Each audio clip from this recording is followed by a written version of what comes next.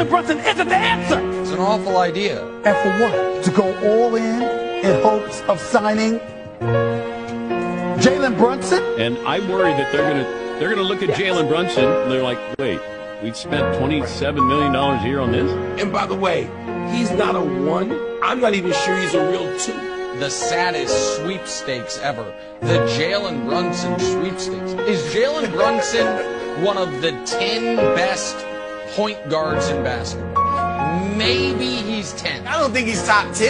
I mean, he might not be top 14. I don't think this is a, mo- a move that puts them into playoff contention. It's got to be something in addition to Jalen Brunson. It is not going to be the type of player that elevates them into contender status. But I mean, do we think Brunson is a guy that is going to bring them to a second round playoff series? He's not. I don't love the Jalen Brunson signing. I think it's too much money.